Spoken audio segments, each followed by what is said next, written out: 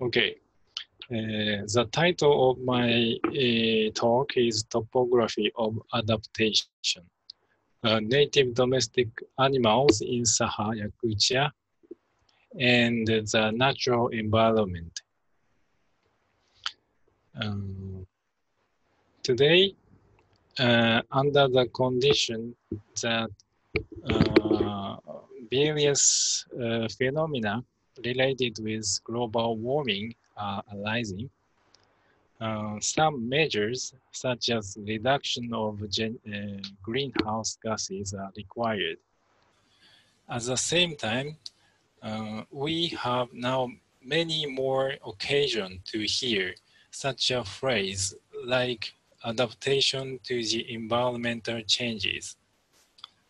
Since Charles Darwin established the theory of evolution, adaptation of physical functions and patterns of behavior to the surrounding environment is considered to be essential for all living things. However, uh, adaptation is an ambiguous word. While it is a key concept on the consideration of relations between living things and environment, on the other hand, it may casually reduce all complexity of adaptational process to a simple phenomenon. It is not, it is not at all wrong to say that a living thing exists as what it is at the moment as a result of adaptation to the environment during evolution in the past, or that a living thing will survive in the future by means of adaptation to the changing environment either. But uh, the word adaptation could condense the complex process in the passage of time into an abstraction as a black box of the world. Uh, scientists of uh, uh, physiology, genetics, and or ecology would struggle to elucidate the complexity of adaptational process. From the point of view of humanities and social sciences, on the other hand, uh, the attempt to draw topography of adaptation may become a measure to cope with the ambiguity of the word adaptation. Uh, for example, in anthropology, topography is taken to be a means to describe the matters which are never measurable and indefinable, so fluid as they transform depending on relationships in the circumstances, but which are surely shared commonly in particular society. The main point of my talk today is to draw topography of adaptation. Uh, that means the uh, gradation of consciousness of adaptation among people which affects the reality lived by them. I would like to take food for thought from the Saha native domestic animals. Native domestic animals are less influenced by the modernist way of breeding, which has been developed to improve the reproductive capacity of livestock animals, particularly in Western Europe. Uh, the process of domestication and the breeding of livestock animals is deeply related with adaptation to environment.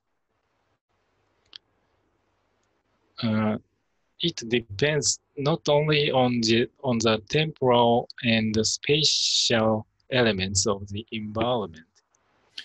But on the on various operations of human beings under the social circumstances, I would like to trace the uncertain and labile footsteps of the Saha native domestic animals, such as Yakutian cattle and horses, Yakutian horses.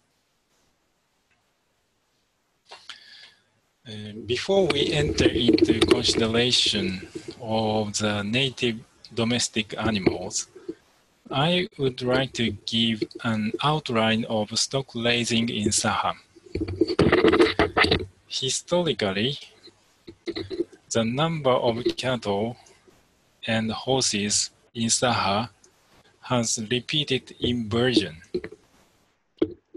As classic ethnographies show, in the early years of Saha life in the land of today's Yakutia, the number of horses far exceeded the number of cattle.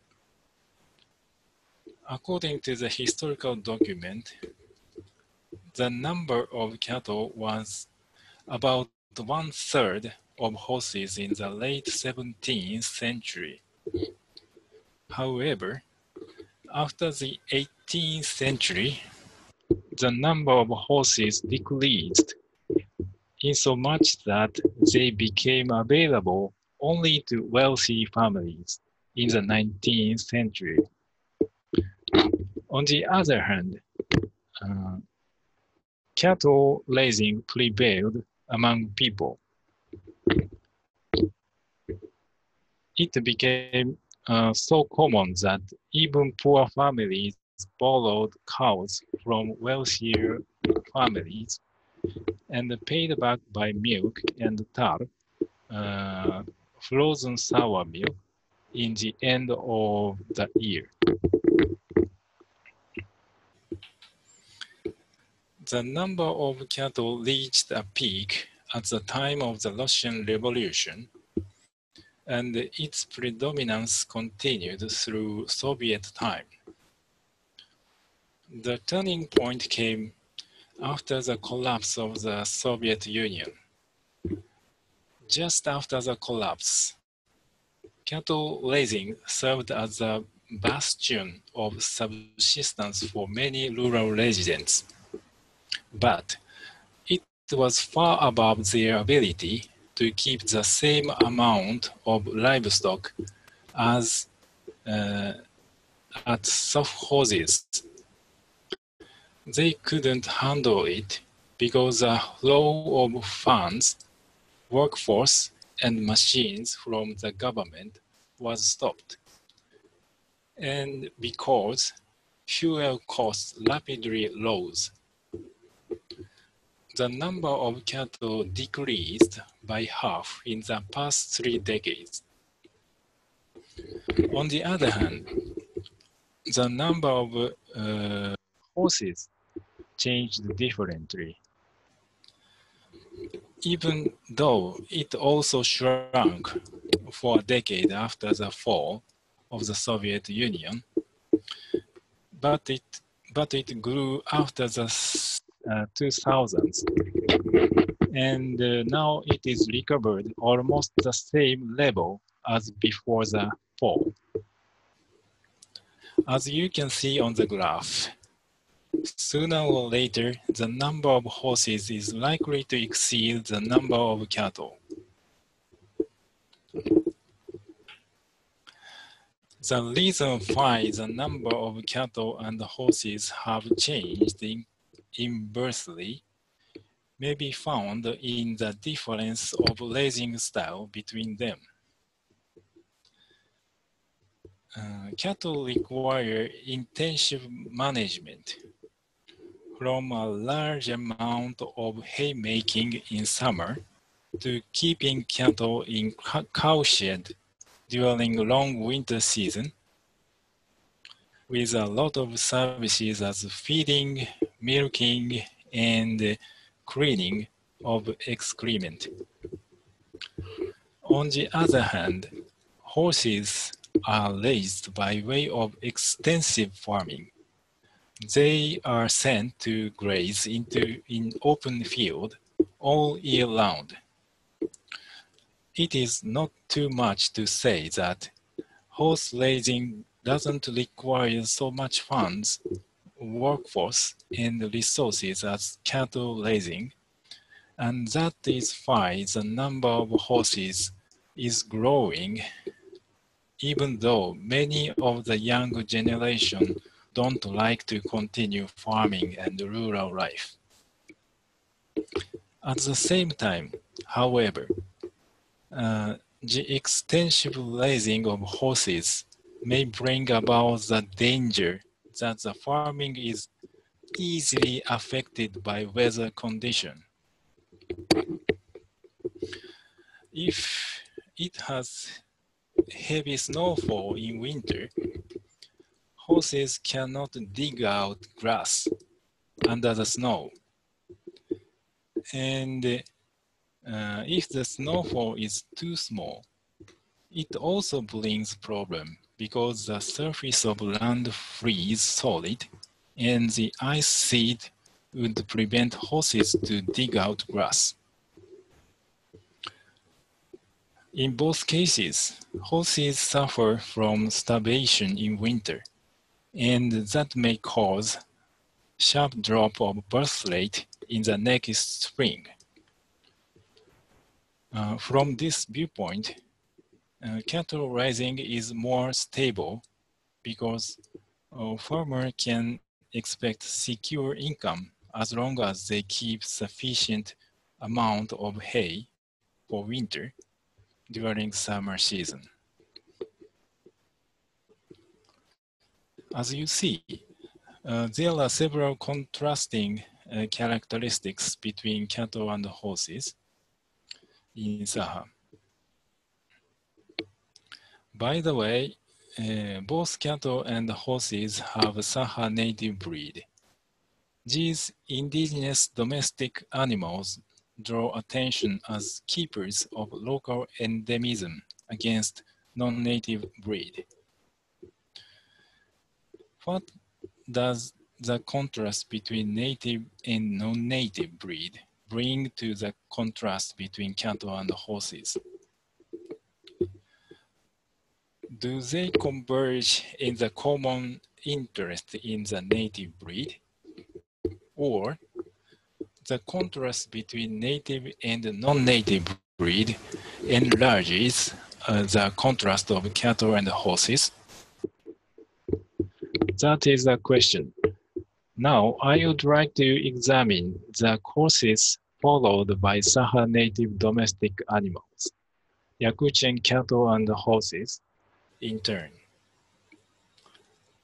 Then I will pay attention particularly on the argument about their adaptation to the environment and consider how the gradation of the argument has affected uh, their contrastive relation.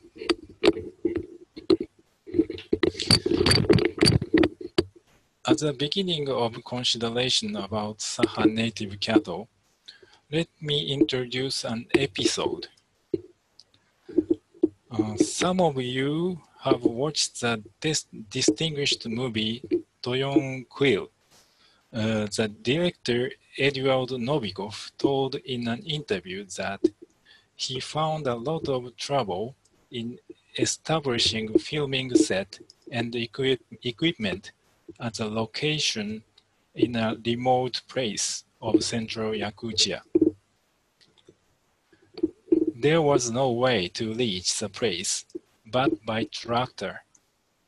And they had to build a house and fences there from scratch.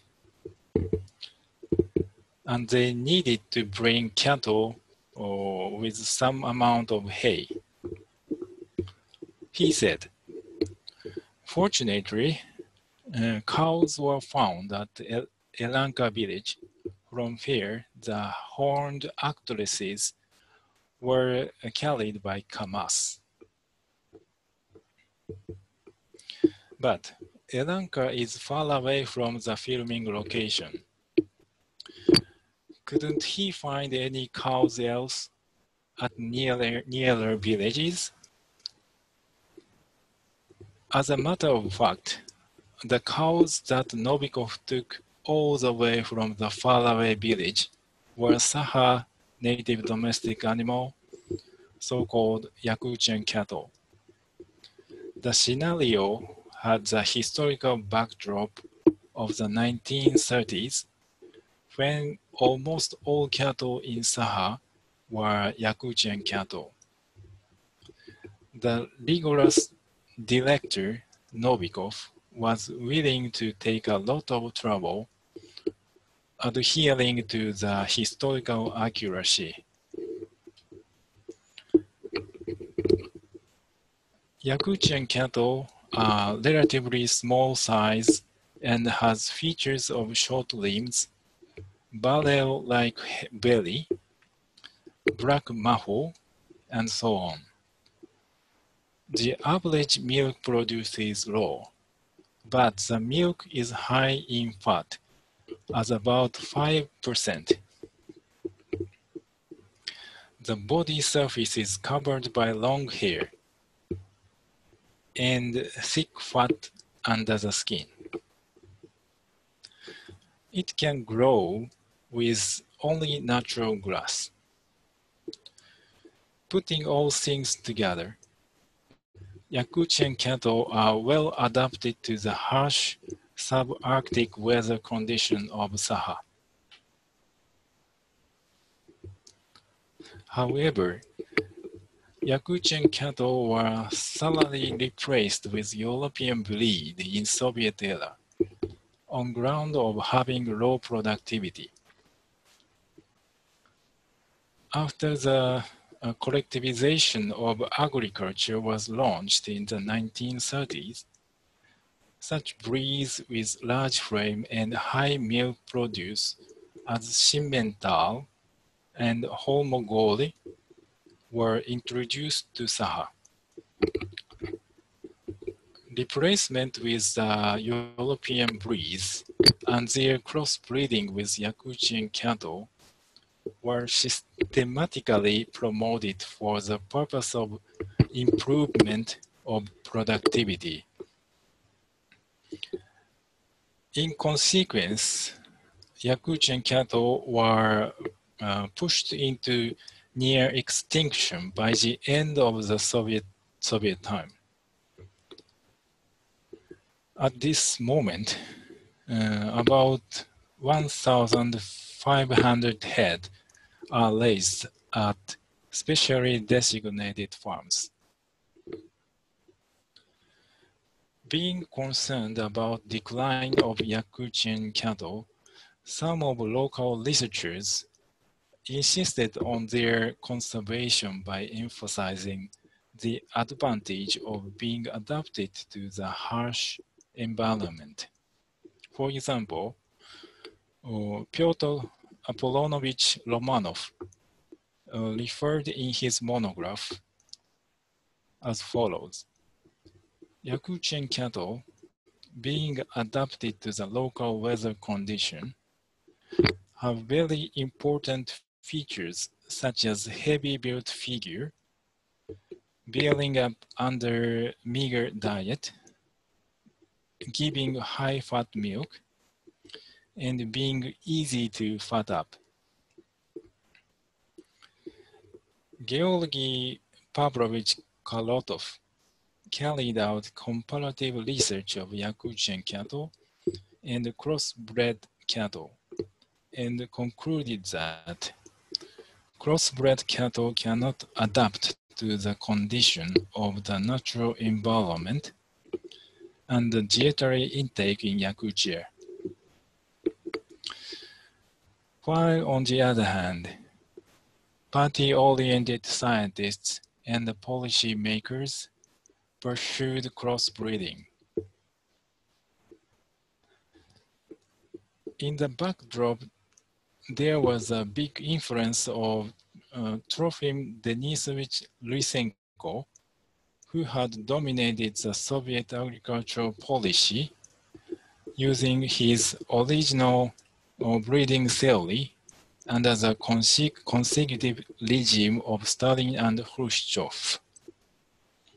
Lysenko negated the theory of classic genetics and insisted that uh, characters of animals and plants can be changed through environmental effect and human control.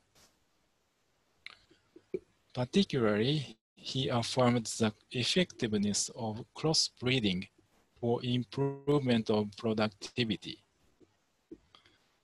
His experimentation of cattle breeding was highly acclaimed by political leaders, including Khrushchev. Not surprisingly, uh, the demand for conservation of Yakutian cattle was dismissed, and crossbreeding with European breed was promoted according to the policy of Lysenko and those who followed him.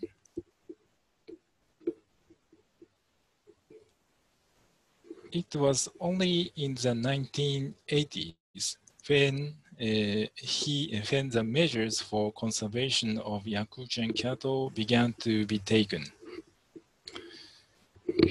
At the time, uh, there was a trend to pay more attention to the uh, sorry to the uh, biodiversity, and at the at the same time, uh, awareness of food security increased.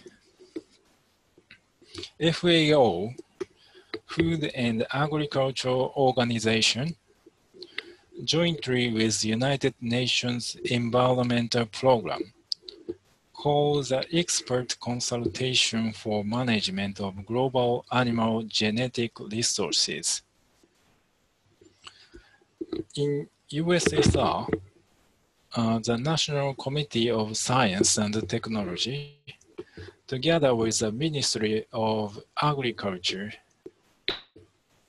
and Academy of Science, got the Gene Bank project started in 1981. This movement accelerated after the fall of the Soviet Union. In 2001, uh, the law on conservation and uh, utilization of gene bank of uh, Yakutian cattle was enacted. Now, Yakutian cattle are raised at the officially designated farms and uh, their branches for breeding by means of national budget. Looking back the history of Yakutian cattle, we are reminded that there has been a disproportion in awareness of adaptation to the environment. There was a discrepancy between the proponents of Yakutian cattle conservation and the promoters of crossbreeding in Soviet time. Uh, some of Sakha local researchers emphasized the importance of being adapted to the environment in the features of Yakutian cattle. While party-oriented researchers and policymakers ignored it and pushed the interests of productivity. Now, the characteristic of being adapted to the environment is highly evaluated in the government program uh, coordinated with the global movement. Whereas the most local farmers are indifferent to the features. They regard raising Yakutian cattle as just unprofitable Meanwhile, the other Saha native domestic animal, shows a quite different picture. Let us move on to the situation of Yakutian horses.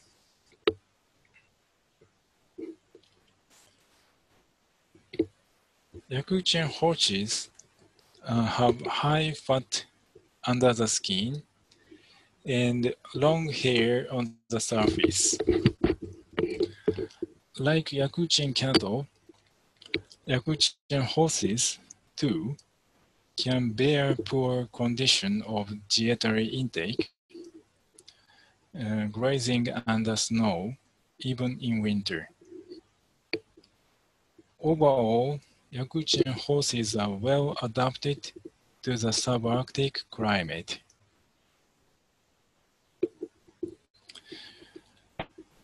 Tracking back the history of Yakutian horses, we can find early reference to crossbreeding with other breeds in the beginning of the 19th century.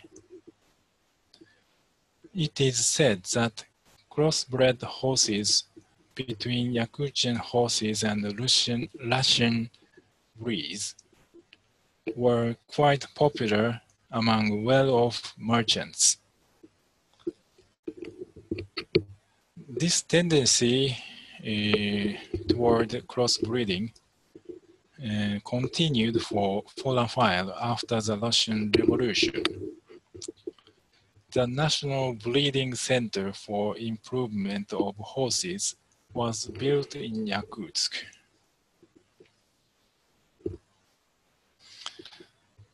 Intriguingly, the native perception of crossbreeding came to rise as a collective uh, a collectivization of agriculture was promoted in Yakutia. Uh, negative perception of uh, crossbreeding came to rise as a collectivization of agriculture was promoted in Yakutia. On the ground of the result of the field study conducted in the wide range of Yakutian territory, Mikhail Ivanovich Rogalevich wrote a monograph in which he negated the effectiveness of crossbreeding of Yakutian horses. According to him, the ultimate goal of breeding is to produce a unique breed adapted to the local climate, land, feed, economic situation. He says, it is meaningless to crossbreed Yakutian horses which are already well adapted to cold weather region and given well-built body. Mikhail Fyodorovich uh,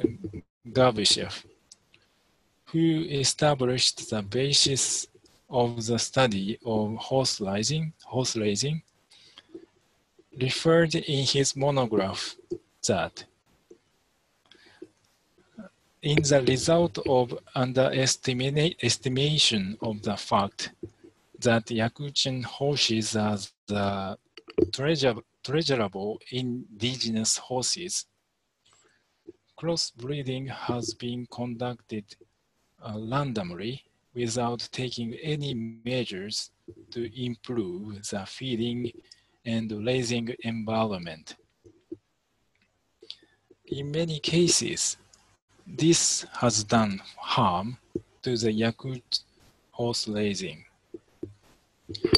These negative view of crossbreeding of Yakutian horses taken by the prestigious researchers as Rogalevich and Gabyshev has prevailed in general.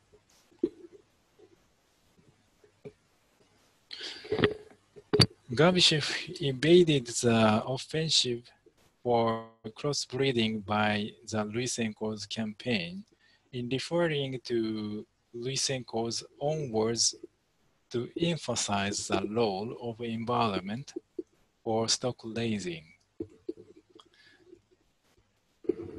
conservation of Yakutian horses didn't contradict Lysenko's policy because uh, they were the precise breed that can make good use of the Yakutian environment. Thus, the conservation of Yakutian horses were enshrined into law in March 1963. The Yakut ASSR uh, Supreme Soviet Law on the measure of development of horse raising at collective farms and state farms oriented the horse use so that it should be as food rather than as working. The law also gained greater control of breeding of Yakutian horses and uh, forbade uh, crossbreeding except at the designated farms. In this way, uh, there were no major discrepancy regarding Yakutian horses in the consciousness of their adaptation to the, to the environment. Unlike the case of Yakutian cattle, the idea that Yakutian horses are adapted to the harsh Yakutian environment has been shared by all as a common sense. Meanwhile, there are two shared features in the view of in the view on Yakutian horses. Firstly, uh, much attention is paid to internal sort, internal sorting and uh, identification of types.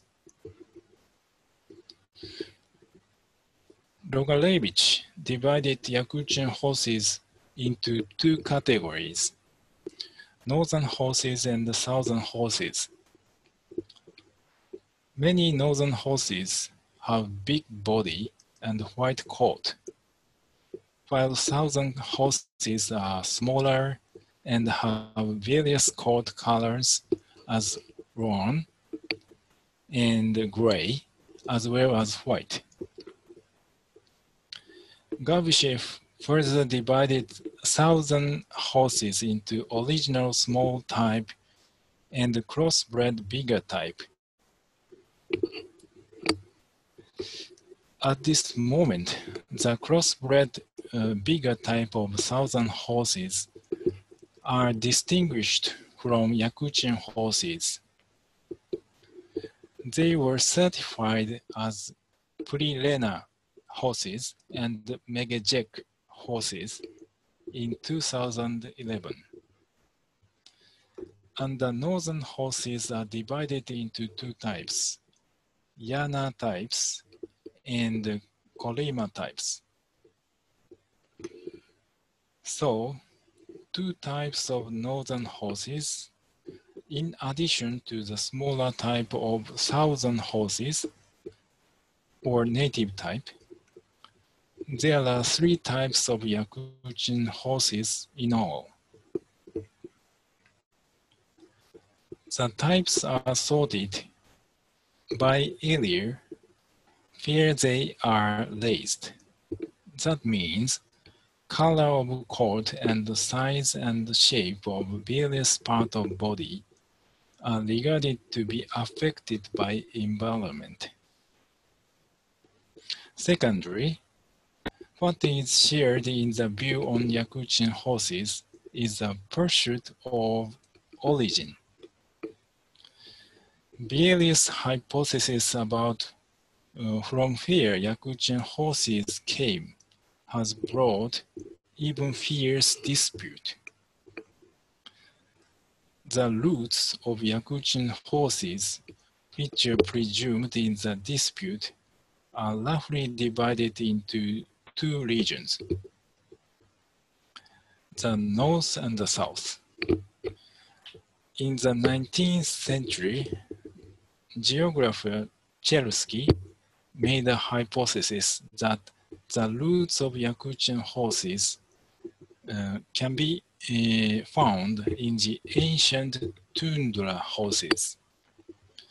Seroshevsky, following Chelski, presumed that the ancient tundra horses were mixed with Mongolian horses, which are taken by the ancestors of the Saha people from the south, and consequently were made into Yakutian horses.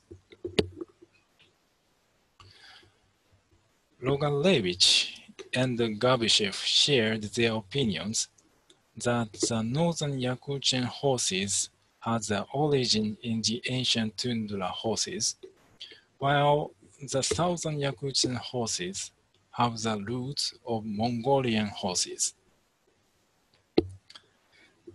The most active proponent of the North origin theory is Pyotr Alexeyevich Lazarev, who insisted that Yakutian horses are the direct descent of the ancient tundra horses.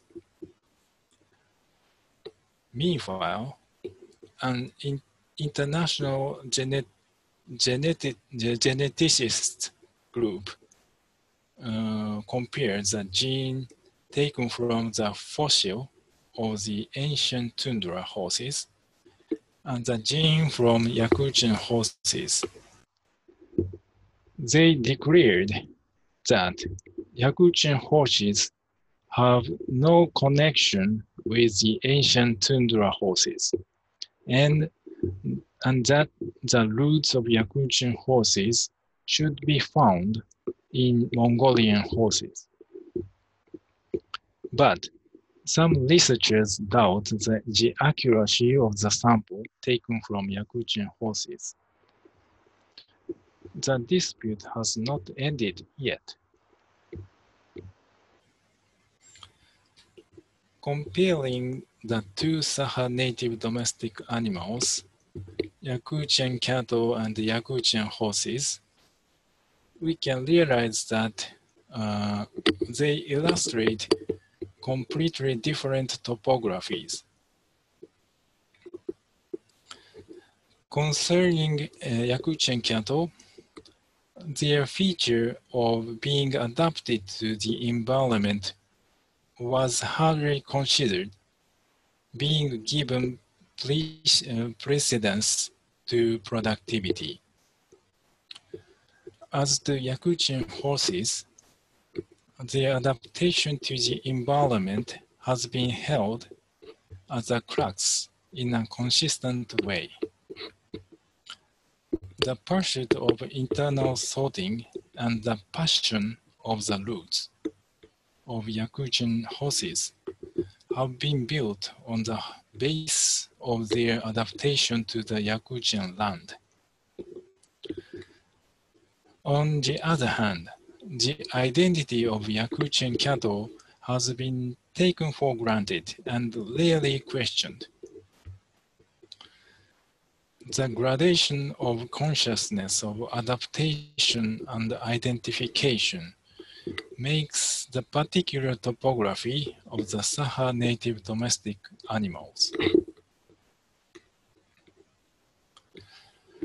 What this topography shows us in place of conclusion, we can say that the difference in treatment of the native domestic animals is reflected on the contrast of the cattle and the horses, enlarging the gap between them. Despite the native domestic animals are surely adapted to the environment Yakutian horses remained, and Yakutian cattle disappeared. The different destiny of these native domestic animals may be related with the trend of the of rise and fall of stock raising today. Thank you for attention. That's all.